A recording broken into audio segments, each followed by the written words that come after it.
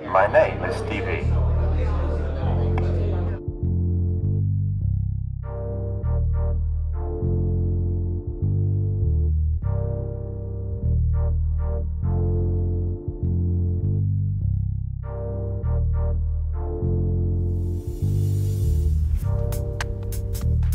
In the first 15 minutes, I found it a bit um, weird. But after that, I mean, when we're doing the demonstration, it was in a simulated living room, you know, and I was the resident and Stevie was coming out to me. And at first, you know, it was a bit funny watching this thing on wheels coming out. But then after a couple of interactions, you know, it, it just seemed a bit more natural, you know, there was a bit of fun. That, that, that was a session for a few hours where we went through various things, like he would ask me if I need, took my medications, you know, like if I was going to bed, did I remember to turn lights out, you know. He would simulate making an emergency phone call on my behalf. I think Stevie 2 was a good development on the original because he seems to be more interactive.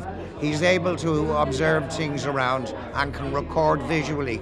So it's like having a mobile CCTV as well as the fact of his capabilities to assist in security.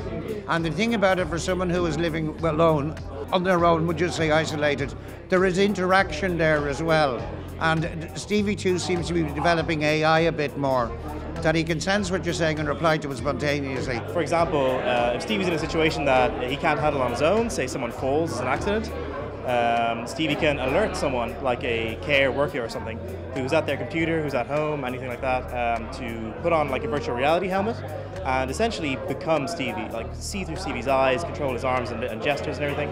So what that means is that uh, someone in a like a high managerial position can easily take over and like be present, so to speak, at the scene through Stevie. The new robot is far more mobile uh, meaning that it's able to navigate you know, far, far, more efficiently. Um, it's, it, it's a lot quieter. So one of the complaints we got from the first robot was that it made a lot of noise when it was moving around. So this one is, is, is much quieter. It's also a lot more energy efficient, so that it can, it can last for probably four to five times longer than what the first one could. We've also got a lot more sensors on it. So you know it's really important for a robot like this that it's able to perceive its surroundings. It's able to know when someone's in front of it. It's able to have those kind of conversations. So now we have the, the capacity to do that. And the applications we're interested in, you know, largely in the care industry, where staffing is a, is a is a huge challenge. Uh, we think that it can help free up some of the, the, the time of existing workers uh, and also do things that maybe you know under current budgeting restrictions aren't, aren't possible.